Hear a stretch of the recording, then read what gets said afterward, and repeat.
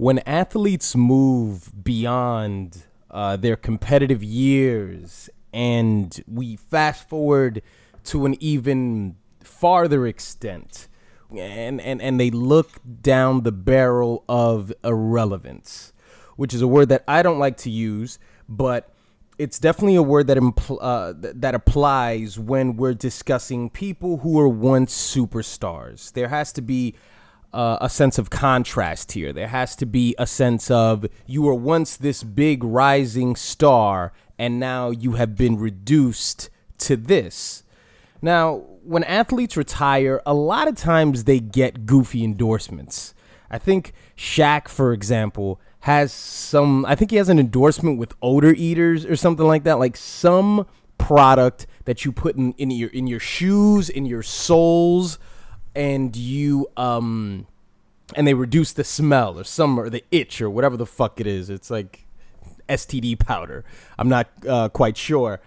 Uh, Frank Thomas, who uh, you know the big hurt, he used to play for the uh, Chicago White Sox, and he has a uh, endorsement deal with Nugenix, uh, which is a uh, testosterone supplement, but it's something that's mostly taken by men in their 40s and in their 50s. So it's not the goofiest of endorsements, but it's not exactly Nike.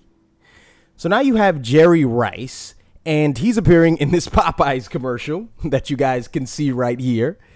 And let me give you a bit of a background about Jerry Rice. Jerry Rice is easily one of the top 20, maybe even top 10 football players of all time, depending on who you speak to. It's, it's certainly a, a generational conversation. He is easily the greatest wide receiver that has ever lived with the San Francisco 49ers.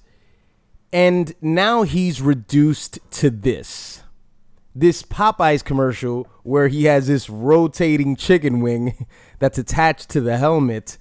He's got this ridiculous amount of barbecue sauce on his face and a humongous fucking biscuit. I, I, I, I don't get the idea of the biscuit. I mean, look, I don't I don't get the idea of the rotating chicken wing in the helmet, but the biscuit is gone. It's gone so beyond uh, even by the standards or, the parameters that the commercial has created. Uh, you know, just just how morbid it all is with him having the barbecue sauce. You know, this uncontrollable, this compulsion that Jerry Rice has to eat the chicken.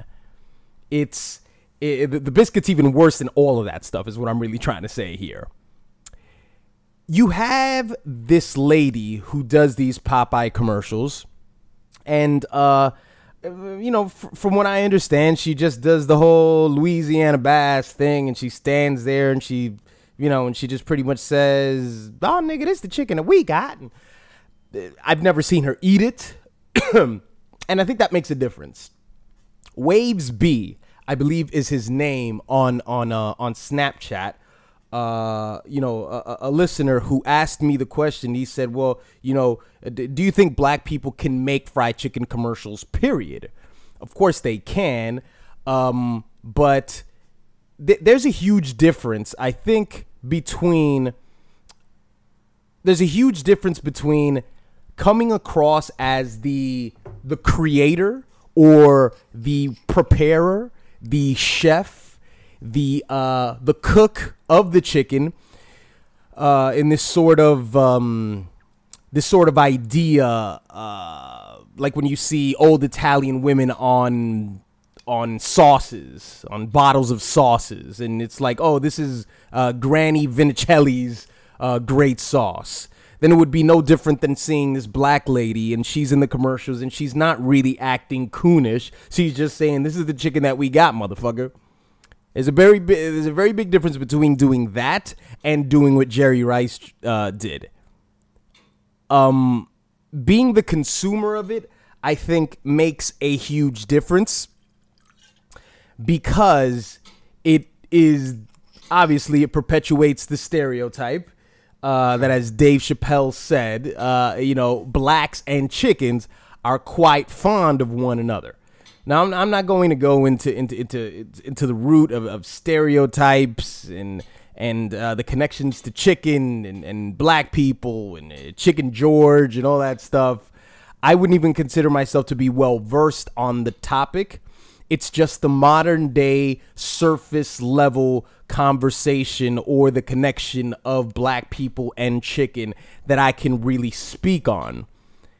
And yes, I think that black people can do chicken commercials because up until now, I don't think anybody really had a problem with that uh with that old lady doing the commercials. And by the way, her reactions were hilarious.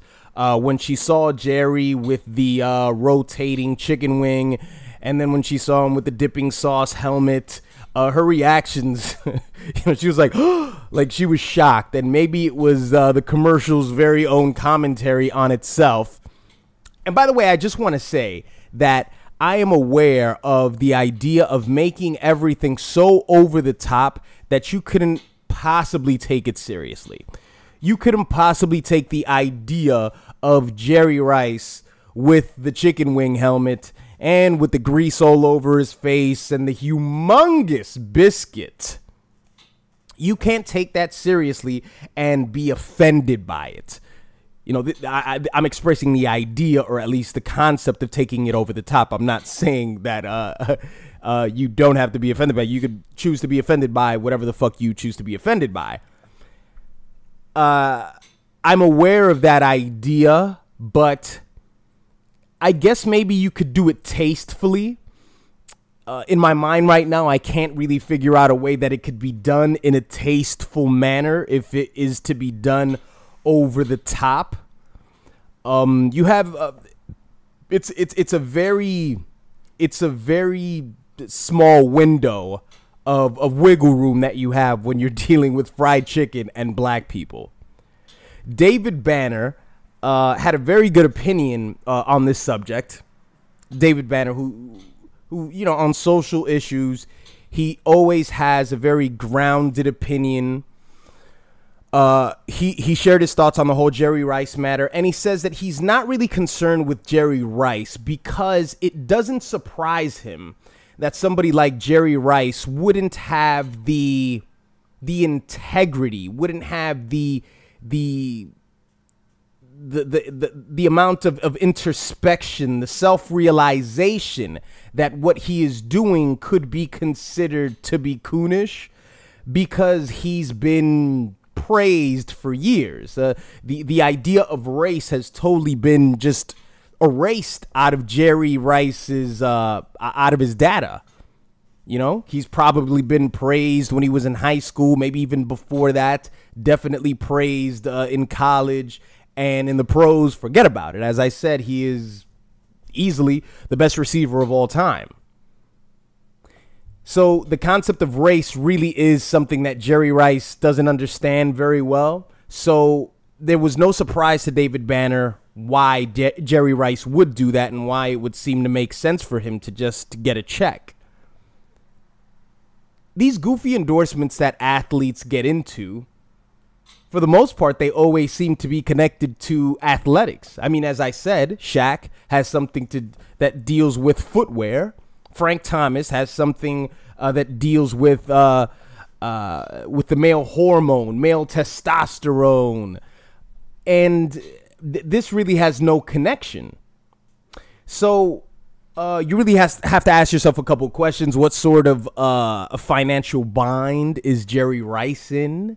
Uh, I can't imagine why he wouldn't be able to be an uh, why he wouldn't be able to be an analyst. Um, great players are analysts as well. I know for the most part, mid-level sort of average players tend to be the best analysts. I mean, uh, look at Matt Hasselbeck on ESPN uh, I believe that's in the right back. And I know there's there's brothers, but I, I believe it is Matt Hasselbeck. Um, there are a lot of athletes who make great commentators, uh, even uh, great ones like uh, Troy Aikman for Fox Sports. You know, he does the commentary with uh, with Joe Buck, and Troy Aikman, of course, was a great player. And you know, he, he he's able to find his uh his, his space, his area I can't imagine why Jerry Rice wouldn't be able to do the same and why he would uh, resort to, to, to making commercials like this.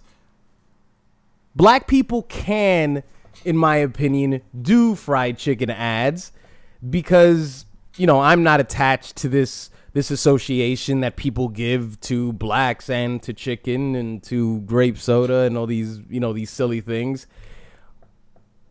If it's done tastefully, then maybe it could work. I mean, you, you can't possibly sit there and say that it is no possible way for a team of writers to come together and to very in, in a very witty manner sort of dance their way around the the meat and potatoes of the the very first thought that you're going to have when you see Ray Lewis in a Kentucky Fried Chicken commercial. So Jerry Rice, uh, I mean, other than just being a very funny commercial, because I think the commercial is hilarious. Uh, I think that was the intent to make it hilarious. And maybe in the minds of those writers, that's what they felt was their thing. They were going to go for the big laugh. They were going to go with something that is so absurd. You know, comedy is drawn from absurdity, from something so ridiculous that it's just going to make you laugh. But there are so many, there are so many pre preconceived notions uh, when it comes to this topic that it's very difficult to go for that laugh. It's it, it's it's it's a tall order. Let's put it like that to make that commercial be acceptable. But what do you guys think about it? I mean, if you haven't seen the commercial, I'll lay it in the description below. You can see some of the images here. Let me know what you think about the video. Um, let me know what you think about the association of uh, of fried chicken and uh, the stereotype between uh, fried chicken and blacks. I think fried chicken is delicious, as many people many people would share that very same sentiment. Uh, but let me know what you guys think uh, in the comment section below, and I will see you fuckers next time.